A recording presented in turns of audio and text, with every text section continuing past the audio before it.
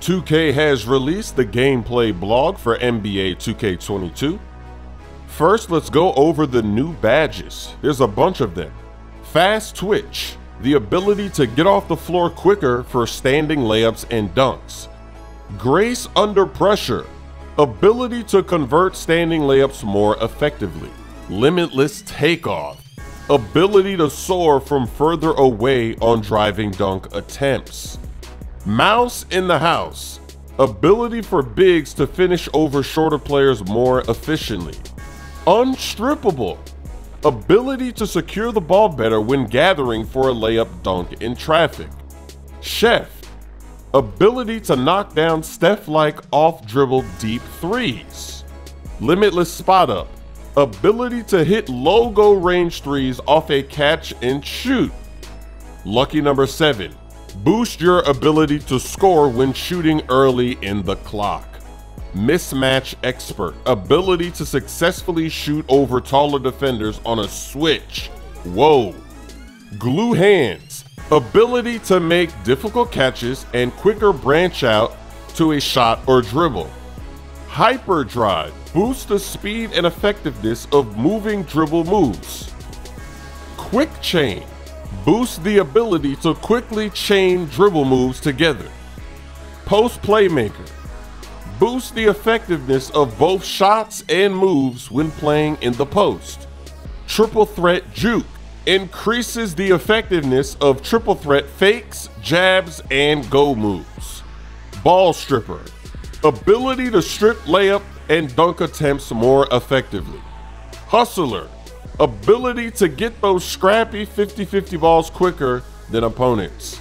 Menace, significantly drops the offensive ratings of opponents when you smother them. 2K22 has 80 total badges now. Then 2K talks about a next gen exclusive called Takeover Perks. These are modifiers that you can unlock and equip to strengthen your existing takeover abilities. And this is supposed to add another layer of strategy to how you compete online. The builder has been improved so that it's easier to see how many badges you've earned, what badges you're unlocking, what the attribute caps are, what the thresholds are, what the cost of each tier is. Another major change to gameplay is in finishing. They're adding a timing meter to alley oops and aggressive dunks. When an alley oop pass is in the air, you're gonna have to press the shot button at just the right time to finish off the oop. If you're too early or late, you'll either smoke the finish or miss the catch completely. And then they're saying that this year you can force the bounce pass alley oop this year. There's to be a button or something that lets you do that. On the dunking side, holding sprint and pulling straight down on a pro stick will trigger the aggressive skill dunks. When you have a defender standing underneath the rim, using the aggressive skill dunk feature will let you basically force a dunk attempt on demand as long as you have a stronger dunker and you have a bit of runway. It's tough to hit the perfect timing for these high risk, high reward plays, but it's so gratifying when you pull it off. So let me know what you think about adding timing to dunking. Jump shooting has a new meter. It's gonna dynamically resize the make window depending on if you're taking a quality shot or if you're taking a bad shot. So good shots, the meter will be a little bit bigger. Bad shots, it's gonna shrink when you're heavily contested or if you're shooting with a low rated shooter, or if you're tired. I'm gonna call cap on that. We're gonna have to wait and see, but we know they have badges in the game that help you when you're tired to score.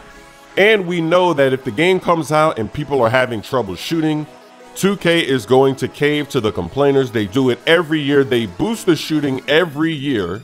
So I'm calling cap until I see a full year go by where they don't do that. So we'll see what happens with the shooting. Sounds great. All that stuff sounds amazing. Will they actually stick with it?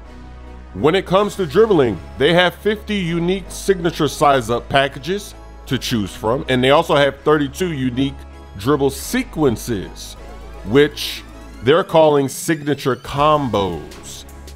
Then they talk about the speed with ball rating. They're saying that last year, taller players could outpace shorter players with the same speed with ball, but this year they resolved that issue so that the smaller players are no longer lagging behind. Then 2K is also talking about defense, how they changed the pick and roll schemes, the hedges, the AI. Just like the jump shooting though, every year when people complain about the defense, they're going to tone the defense back. So I'm just going to call cap on all that. Let's see if they actually have good defense at the start of the game and if they keep it throughout the entire game. But this is a very long blog, so I'm going to leave a link in the description so you can read it for yourself so you don't miss anything. But there's a summary of some of the most important aspects of the gameplay changes. Let me know what you think in the comment section. Are you excited for NBA 2K22? Two seconds left. That's the perfect excuse for this half court three abuse. Oh, wow. Donovan Mitchell. He just dropped Tim Hardaway Jr. He in and out. I think Mitchell is mad because he hasn't played in the first three games.